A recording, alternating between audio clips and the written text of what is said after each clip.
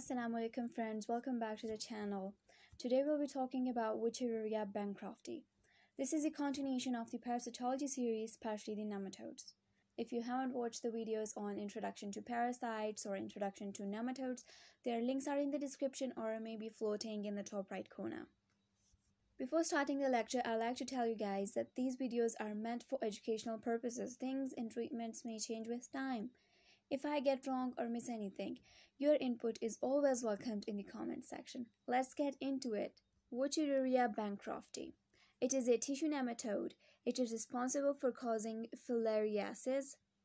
There are at least eight filarial worms that are important to human beings, but th in this video I'm going to discuss Wuchereria bancrofti and a little bit about Brugia malayi that is uh, called common in Malaysia and some areas around the equator of the world. Brugia malayi is one of the causative agent of lymphatic filariasis. The the only difference between Brugia malayi and the Wuchereria bancrofti is that they have different mosquito vectors, but they have very very similar life cycles. And another difference can be that the lateral caudal papilla in the Brugia malayi have an indentation around their bases, which is absent in Wuchereria bancrofti. Elephantiasis is a striking feature of this disease, the filariasis. Tropical pulmonary eosinophilia is an immediate hypersensitivity reaction to Wuchereria bancrofti in the lung. In this picture, you can see this worm it is filled with the nuclei, these circular, uh, you can visualize them in the purple color, but the tail is empty. We'll discuss why is it so in the morphology section. Lecture outline. I have introduced you guys to the Wuchereria bancrofti. Now we'll know how does it look, like its morphology, then its habitat and transmission, life cycle, pathogenesis and epidemiology, clinical findings, lab diagnosis, treatment, and finally the prevention. Morphology. There are actually three forms of Wuchereria bancrofti that exist in its life cycle, but we are going to discuss just two in morphology section. First one is larva, second one is microfilaria, and third one is adult worm. Let's start with microfilaria. It has got two forms. One is unstained and one is stained. We'll discuss about which stain is being used uh, in the stained one, but let's talk about unstained first. The unstained microfilaria is colorless. It means they have transparent bodies with blunt heads and pointed tails. These microfilaria vary in size from 290 micrometers by 6 to 7 micrometers. Stained microfilaria. It is stained with Romanowsky's stain. What is it? It's a neutral stain composed of mixture of oxidized methylene blue, azure, and oxidized methylene blue dyes and eosin Y. Romanowsky's stain is used to differentiate cells for microscopic examination in pathologic specimens to detect parasites. Uh, these filaria has got the hyaline sheath as their outer covering, a cuticle, and somatic cells or nuclei appearing as granules. Granules do not extend up to the tip of the tail. An anterior end is devoid of granules. Larva. The infective stage um, is larvae introduced by mosquito in the human beings but the diagnostic stage is quite different from the infective stage that the microfilaria produced by the adult worms of Wuchereria bancrofti in the human beings. As they are present in the blood so taking a sample of blood and making a blood smear and visualizing it under the microscope will make it easy for us to diagnose it. But the infective stage is always the larva that is present inside the mosquito's proboscis.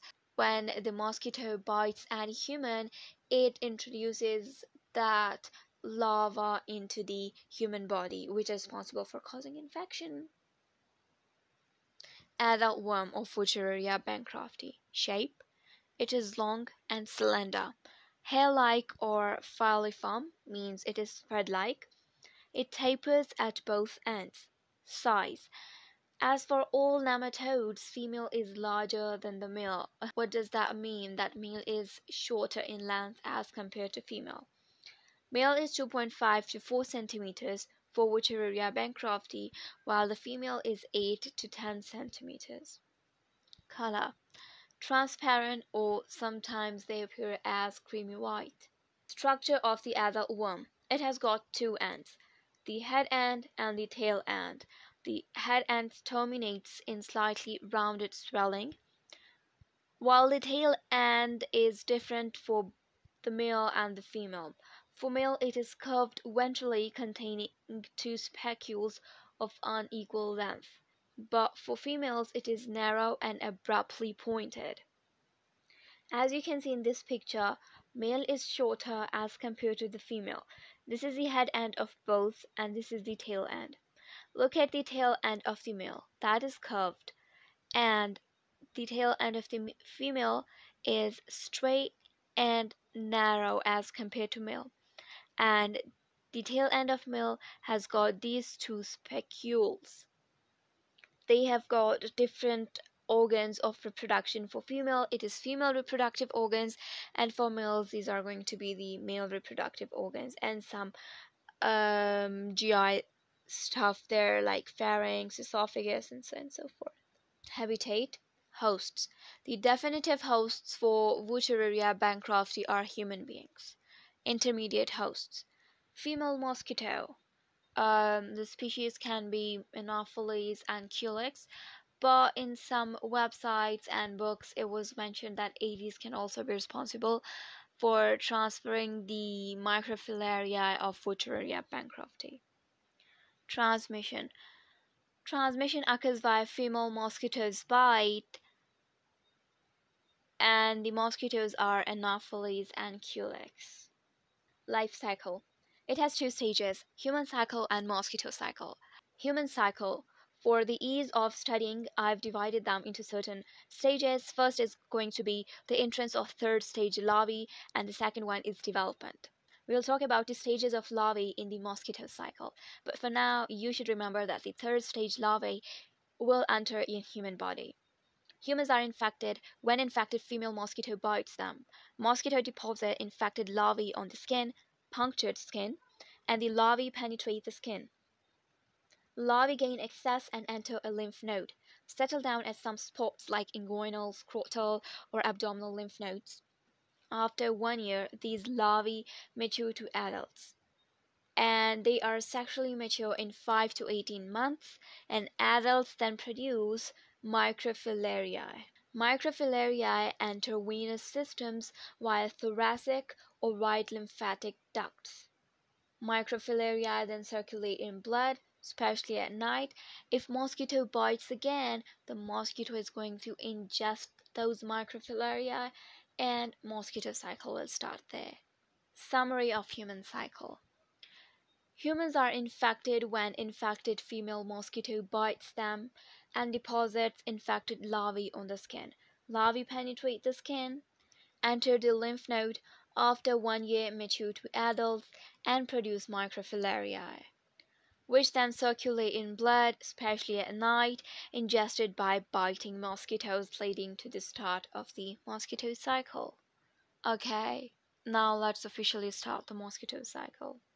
It is further classified into four stages. First one is blood meal, second one is first stage larvae, third one is second stage larvae, and fourth one is third stage larvae. Blood meal. Mosquito ingest sheeted microfilariae.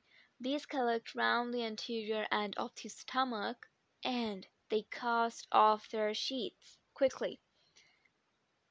And now they're called as first stage larvae. Then they penetrate the gut wall within one to two hours, migrate to thoracic muscles where they rest and begin to grow. In next two days they change into thick, short, sausage-shaped forms with a short spiky tail and a rudimentary digestive tract. And now they are called as second stage larvae. In three to seven days, larvae grow rapidly, molts mean sheds its cuticle, once or twice to become the third stage larvae. On tenth or eleventh day metamorphosis is complete. What is metamorphosis? It is a biological process in which an animal physically develops. So here this third stage larvae is physically developing. Third stage larvae is formed with tail atrophies to a mere stump, digestive tract, body cavity, fully developed genital organs. These are infective to human, these third stage larvae, which enters the proboscis sheath of mosquito on about 14th day. On biting humans, these are introduced in human body and then the human cycle starts and we've already discussed what is human cycle. Summary of mosquito's cycle. Microfilariae are ingested by the mosquito Within the mosquito, microfilariae produce infective larvae, which are then transferred to humans with the next bite. Diagrammatic representation of life cycle of Wuchereria bancrofti. It starts here when female mosquito takes a blood meal and introduces the third stage larvae into the skin of the human. Then these larvae penetrate the skin, and enter the lymph node. Larvae introduced by the mosquitoes then develop into the adults in the lymphatics of the human body. Then adults produce sheathed microfilariae that migrate into lymph and blood channels. Mosquito takes a blood meal again and ingests these uh, microfilariae. These microfilariae shed their sheets, penetrate the mosquito's midgut, and migrate to thoracic muscles and become the first stage larvae, L1 larvae. And then after some time become the second stage larvae and eventually the third stage larvae, the L3 larvae. Then these L3 larvae migrate to the head and the mosquito's proboscis to infect the human. And this is how the mosquito and uh, uh, human cycles are continued. Pathogenesis Adult worms in the lymph nodes cause inflammation that eventually obstructs the lymphatic vessels, causing edema. And when this is a massive edema flags, it is termed as elephantiasis. Note that microfilariae do not cause symptoms. Wolbachia species are rickettsia-like bacteria found intracellularly within filarial worms or filarial nematodes such as Wuchereria and Onchocerca. Wolbachia release endotoxin-like molecules that are thought to play a role in the pathogenesis of Wuchereria and Onchocerca infections. Evidence for this includes the use of doxycycline, which kills the Wolbachia, resulting in a reduction in the number of microfilaria and in the inflammatory response to the nematode infection. Some symptoms are caused by microfilaria if they are present in the lungs that elicit an immediate hypersensitivity reaction categorized by a high IgE concentration and eosinophilia. Epidemiology The disease occurs in tropical areas of Africa, Asia, and Latin America. Um, as I told you in the introduction that Brugia malayi occurs in the areas around the equator all around the world, but Wuchereria can also occur in those places. The species of mosquito that acts as vector varies from area to area. Altogether, 200 to 300 million people are infected. Clinical findings Early infections are asymptomatic. Later, fever, lymphadenitis, what is it? It is the inflammation of lymphatic system. And cellulitis. Cellulitis is common bacterial skin infection. In later stages, along with fever, lymphadenitis and cellulitis develop. Gradually, the obstruction leads to edema and fibrosis of the legs and genitalia especially the scrotum. Massive edema of the legs is termed as elephantiasis.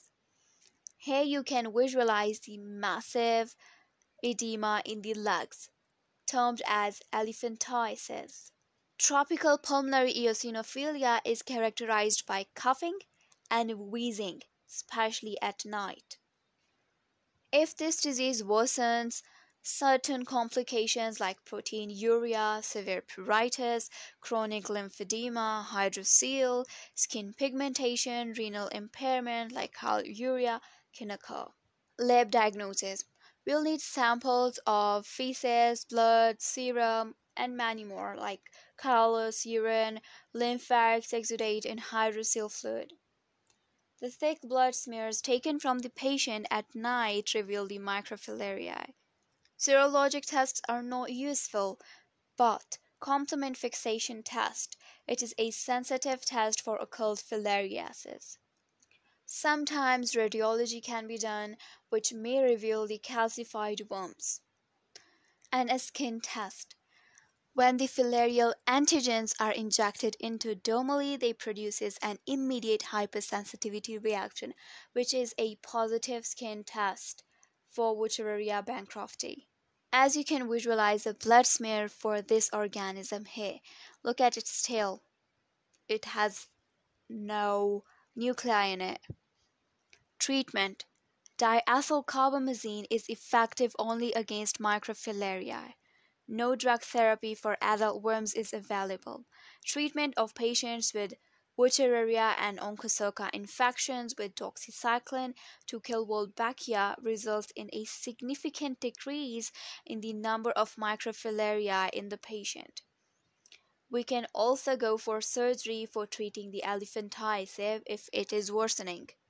Prevention Prevention involves mosquito control with insecticides and the use of protective clothing, mosquito netting, and mosquito repellents. Alright guys, let's review everything quickly. The organism is Wuchereria bancrofti, its common name is filarial worm, and the disease it is responsible for causing is filariasis. Its mode of transmission is via the bite of female mosquito. The hosts are the definitive hosts are human beings, while the intermediate ones are the mosquitoes. Endemic areas are tropics primarily, and the primary location they're responsible for causing infection in is the lymph nodes. Um, diagnosis is mainly based on blood smears. Treatment uh, is diethylcarbamazine.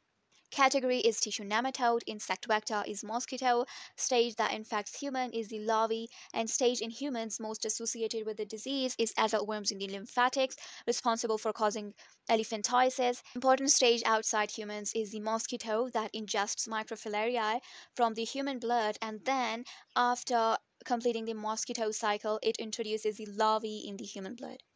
That's it. Hope you enjoyed it. If you have any suggestions, feel free to leave them below in the comments section. And don't forget to connect with me on all of my socials like Instagram, Twitter, and my blog. Till next time, Assalamu alaikum.